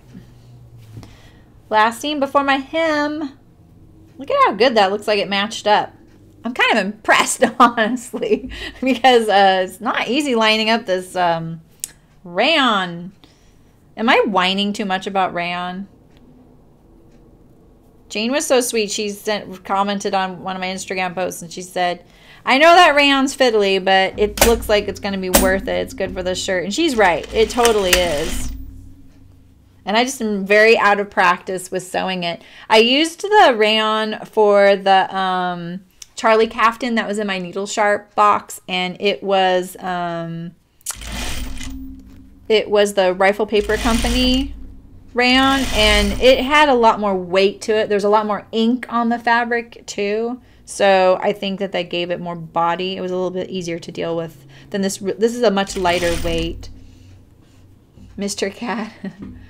oh, that's so cute. I used to have a cat named Mr. Kitty. Santa gave him to me. A long time ago. And then um, the one that plays with my puppy, his name is Senor, and um, which is uh, Spanish for Mister. And it's because when he adopted us, like he wanted to leave his owners and move in with us. Like he he he definitely made it clear he was not going back to them. And um, but his name was Mr. Kitty, and I was like, no, we can't name we can't name him that. But I didn't know we were gonna keep him. I just named him Senor, just because he always showed up and wanted to eat my yogurt out of my cereal bowl. He would come in through the cat door and um or the dog door. He came in through the dog door and we'd find him asleep in our house all the time. He did not like living where he was living. So my fingers are doing a lot right now. Um, I'm kind of keeping this curve like this because remember I just made the sleeve a lot tighter than the outer piece, the, than the garment. And so making it try and lay flat is a losing battle because I've already said I want you to be smaller than this other thing. So in a way, I'm kind of like putting it on like this, you know, I'm kind of like trying to say, yeah, this is where you're going to go. And um, as I get close to the end, it gets easier and easier. I'm trying to keep it as smooth as possible. I feel like my hands do a better job than pins when it comes to something like, like this. All right, let's see how I did. These honestly look better than some of the set-in sleeves I've done lately, and it's probably because of the rayon. It doesn't look that great on the inside, but that's because of the gather. Here's my gathering thread. Poof, gone. There's the bobbin. So satisfying. I know you guys wish you were doing that. okay, there's my other sleeve. I got a blouse. Very cute. Told myself that I, as soon as I was done streaming, I'm going home. I'm not going to sit here at work. But I really want to put buttons and buttonholes on this so I can wear it right away. Okay, let's um let's put the hem in. All right, that right there, that is a recipe for frustration. And I don't know, do you, do you know why I'm saying this? I'm not talking about the difference right there. Do you know why I'm saying to do this hem is a recipe for frustration? I'm curious. Because I've talked about this before. And I want to know if you guys know what I mean. Not that I'm trying to lecture I'm gonna wait. I'm gonna wait 30 seconds. I think it's like 30 second delay. I want to see if you guys know why. I'm like, oh, that looks hard. of all the things I've done on this, this looks the hardest right now for me. Any answers? I'm curious. It's the same over here. This one lines up, but um, that right there, impossible. anyone? Anyone? Come on. I'm waiting.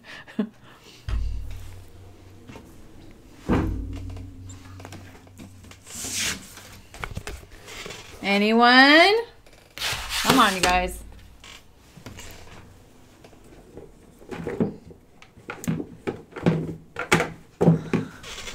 All right, okay, it's because it's not a right angle at the side seam.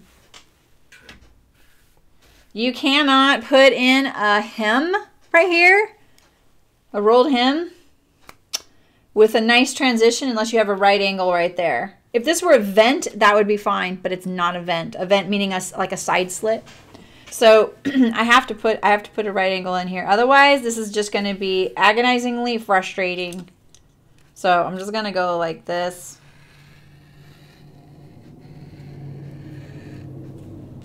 See that? Do you know what I mean? Yeah, it won't work to fold the hem. Exactly. Yeah, it needs more space. It is hard to explain. But really, all it boils down to is right angles. You need a smooth transition and right angles. Like that. It's still going to be hard. There's not a facing.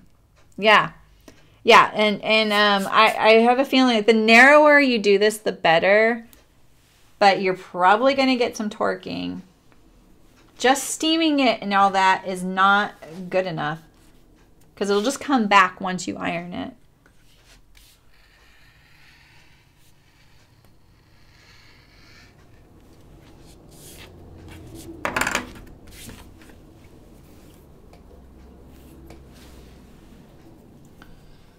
Yeah, I probably should have looked ahead at that and I would have probably made a vent right there so that I wouldn't have to deal with it. Yeah, I could do like um Lisa, I could do like a, a bias hem, you know, but none of my bias is pre-washed and it's all quilting cotton. So I'm a little hesitant to do that because it would shrink differently, you know, because it's on the bias. It would shrink diagonally across it which makes it torque. I do it. I cheat with it all the time, but um, it has ramifications. okay, I'm just going to see how good I did eyeballing both of these so that they're um, pretty symmetrical. Like, yeah, I, I just saw that little bump right there. That's something I can, like, smooth out with the, the hem, you know. I always wanted an excuse to have one of these little tiny rotary mats. So thanks, you guys. okay. That's pretty good. Um, I should have backstitched right here. I think I did on that one, but I didn't on this one. And now it's obvious because it's pulling apart.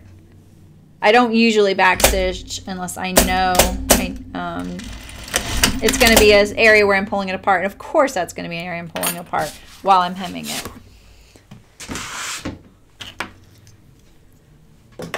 Okay.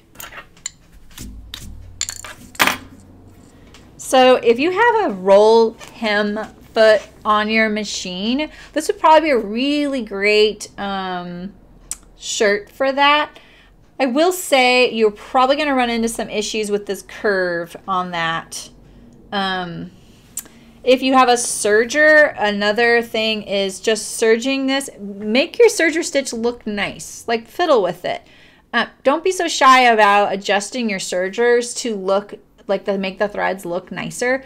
Fiddle around with it. You're not going to hurt your serger. You can adjust the tensions, but play around mostly with your width and your length of your stitches. I'm not talking about your tension at all. Just play around with that because sometimes you can get a little bit more polished of a serger look. I think you'll like it.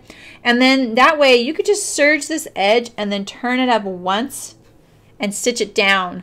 Easy peasy. Like that would be the easiest way to hem this blouse if you have a serger. You could zigzag it as well and then turn it and top stitch it as well. I'm not opposed to zigzag. I know a lot of people really want a more professional looking finish on their shirt, so they think um, zigzag doesn't give them that. But um, I'm not opposed to that. Like, I don't really feel like you need to own every gadget, gizmo, and machine in order to have a professional, unless you, unless you're sewing professionally. But people really appreciate the look of handmade now, and um, I do too. I like, I, I really do. I'm just, I'm just getting rid of some of these threads while I talk with you guys. There's, you don't really have to. It'll make my life a little easier they're not there. I'm gonna start at the side seam, but I'm gonna start kind of on the back, let's make sure that's the back. This is the back. Okay, so I'm to start, I'm going to start on the back just behind the side seam because you know me, I like to get my sewing legs under me when I approach the difficult spot and then keep going. Um, and I, um, I would really love to procrastinate doing this for as long as possible. I don't like doing these at all. so I'm to try and do the narrowest hem possible and we will see. Like this right area this area right here that's all in the bias. That'll stretch. See that? Eek! This right here not on the bias. This is where you want that bias and you don't have any. So um that is why this gets so hard right there. Between the seam and there being no stretch right there it's like bound up. It's fixed. And so um trying to get you know, just this little bit of rolled hem right here, you can already see it. Look, at it does not want to do that. So I'm to do try and narrow, do one as narrow as possible. I'm to try and get my sewing legs under me back here. Um, I'm not very good at delicate sewing or um, fine sewing. I'm not very good at fine sewing, delicate sewing, really narrow things. That's not my expertise. I'm more, a little more, uh, like I like the heavy structure of things. I like top stitching. I'm a little clunkier than this delicate stuff. I went through a phase of really liking it and being into it. And I have this really amazing book called uh, Fine Machine Sewing. It is incredible. Um, and then I, I kind of like went through that phase and I was like, all right, I don't need to do this anymore. all right, so here we go. So this size 14 needle and this Tex 40 thread is also going to work against me a little bit. Um, something that uh, you should probably know about is that th th home machine thread also comes in different weights. I'm sure you all know about like heavy duty thread for sewing denim or buttonhole or buttons, I mean. Um, but if you were sewing, if this was silk, this would be a really lovely blouse in silk. Um, I should have said this from the beginning because this is actually a really helpful trick when you sew silk, you need a much smaller needle, like a size 6. no joke, size 6 needle. And the reason you need a size 6 needle is because the silk is so tightly woven that um, you're just going to break your needles if you use anything higher. So it's silk is so strong that um, you need a really fine needle to pierce the fibers and move them aside. And then because you've got such a fine needle, you have to get a smaller weight thread for that. And most fabric stores, if you go to a good one or someone who's done some of that sewing, they will know what you're looking for. But you need a lighter weight thread to be able to fit through the eye of the needle. And that would be actually be a really lovely um, you know, finish on here is using a lighter weight thread and a lighter weight needle. I can't go any lower than what I have though. Not on this machine. All right. Torquing Supreme. So I'm gonna use my little awl. I'm gonna kind of push that up there. Longest rolled hem ever. but worth it, right? So I got I get it kind of into place. It torques really bad, and then I kind of ooch it in there so that it stops doing that. I keep thinking there's like a dot on my. Can you see this? See that? I can see it through the fabric, and I keep going. What's that? so I kind of get it going over here,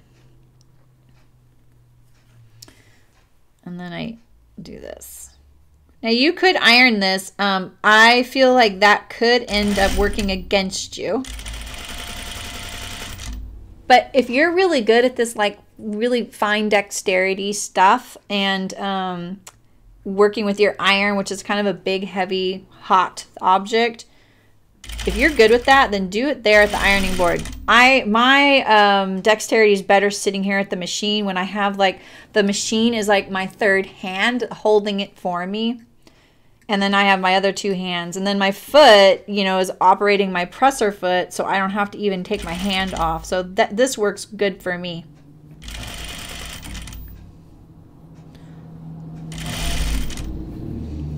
It's looking pretty good. What do you guys think? That actually looks way better than I thought, and it's probably because I'm so scared and I'm live that um, it's going to come out okay. But I'm not even across the back. So if you want to see me next week, I feel free. but I'm going to sit here and I'm going to finish this. So um, one thing also that could help to do this, and, and I probably could have done this, is you could sew a stitch all the way around the perimeter of your hem right where you want it to fold. And then it would want to fold there because that's going to draw it up a little bit, like tighten it up.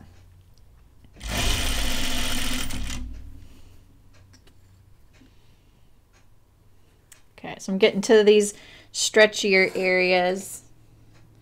And they're stretchy on the curve too, but you're you don't need it there either, right? You're trying to ease that in. So there's, I'm almost halfway. Woohoo! Not bad, not bad. This is probably the narrowest hem I've ever done in my life. I wish my fingernails were a little longer for this.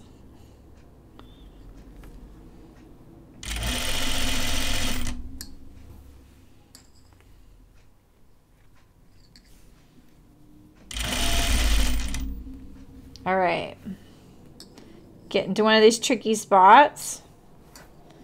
I don't want to I don't want to touch that until I'm right about to sew it because I don't want to um, start pulling on the seam. So now I'm going to sit here and I'm going to arrange this a little bit. The awl is going to be really helpful here. You can use a pin as well.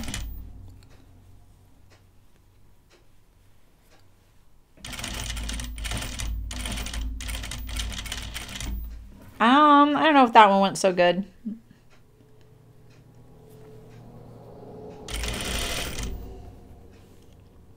Yeah, sewing a fold line, right, Malin? I think that that is, um, I wish I would have thought of that sooner. And she, um, she does that technique on the edge of the cuff fold and on the placket fold. And I think that's really smart. It's a really good idea, good suggestion she, that she offers in the instructions. She might say that on the hem, but I I skimmed the hem and I don't think I saw that. I just remember her saying, you know, steam and press as you go. It'll be easier. Um, I find that if I iron it, I sometimes fix something in that I don't want to be there anymore. And I may want to adjust it as I'm sewing and I can't because it's ironed. And then I'd have to take it back to the board and straighten it out. And it's just like then you have start and stops and you're sewing. And I don't like start and stops you know that. So this is my strength. It's just manipulating the fabric right here at the machine. It's okay. It's a little like kooky right there. You can see this little bound up edge right here doing the little a little flare right there. Can you see that?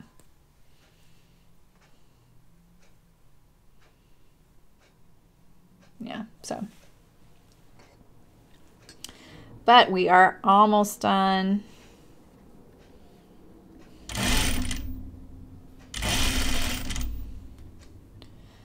Ooh, I can't wait to make pants. pants are so easy.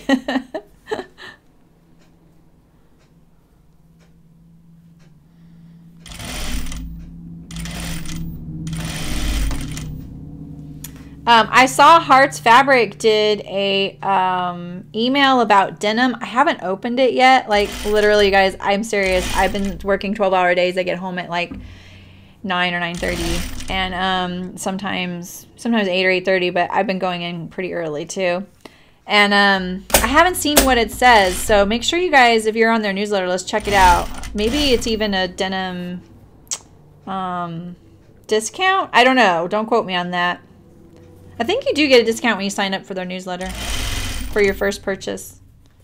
If some of you need your denim for your itch to stitch. And they list their denim stretch. Ooh, look at this is all working out. They list their denim, denim stretch in the um, description of the fabric. And it's, um, I'm not sponsored by them or anything. And you might find a fabric store closer to you, especially one you can see in person. Harts is in California, so they're really close to me, and it's H A R T S, not not like H E A R T S, but H A R T S. All right. I'm gonna iron it because I want it to look better. Just a second.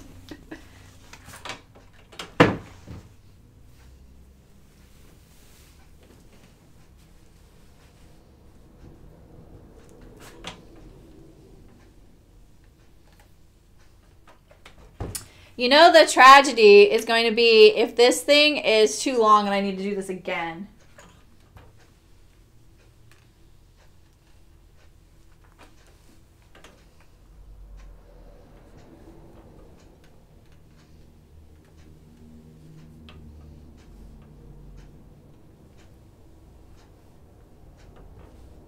It kind of flares. It's kind of, uh, I'll show you guys in a second. I'm almost done.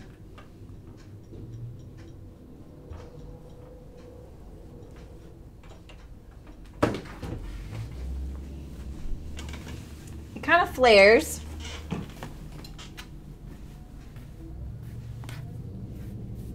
You see that? It's like, woo. All right. I like it though. I think it's really cute. It may, uh, it would actually be a really nice night shirt. you know? I don't wear, um, like nightgowns, but um, it would be a really nice nightgown to make it a little longer. You could even simplify the sleeves so you don't have to do this cuff. Where's my where's my pie? Oh, it's upside down. I couldn't see it.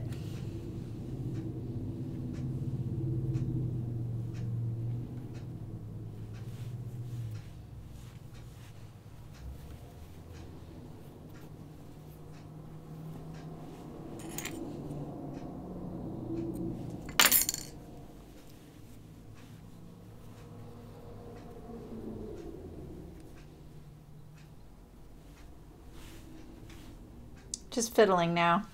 All right.